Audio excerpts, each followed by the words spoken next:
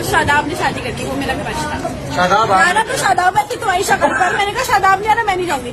एक महीने बाद पता चलता है फरवरी में शादाब साहब जो है ना वो शादी करके बैठ गए।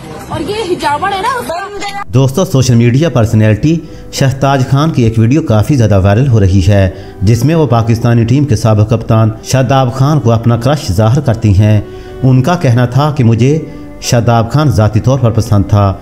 मैं चाहती थी कि मेरी शादी शादाब खान के साथ हो, मगर उन्होंने चुपके से फरवरी के अंदर शादी रचा ली। वो भी एक हजाब और बुरखा वाली लड़की से। जैसा कि हम जानते हैं कि सकलैन मुश्ताक की बेटी जो कि शदाब खान की बीवी हैं। अक्सर ग्राउंड के अंदर और बाहर भी वो अपने शोहर के साथ पर्दा और हजाब के अंदर दिखाई देती हैं। यूँ शहताज खान का शदाब खान की बीवी और इनके पर्दा का मज़ाक उड़ाना ये कोई अच्छी बात नहीं। शायद आपने ये पहली बार सुना हो कि एक लड़की दूसरी ही लड़की के पर्दे के बारे में बातें करती हो। शहताज खान जिसके इंस्टाग्राम पर 17 लाख से ज़्यादा फॉलोअर हैं। शदाब खान की बीवी के बारे में ऐसी बातें कहने पर लोग इनको काफ़ी ज़्यादा ट्रोल भी कर रहे हैं।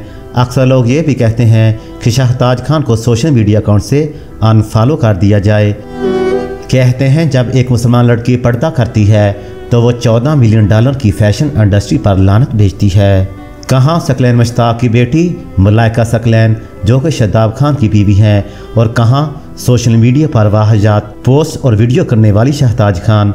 दोनों में फ़र्क आप कमेंट सेक्शन में हमें वाज तौर पर बता सकते हैं।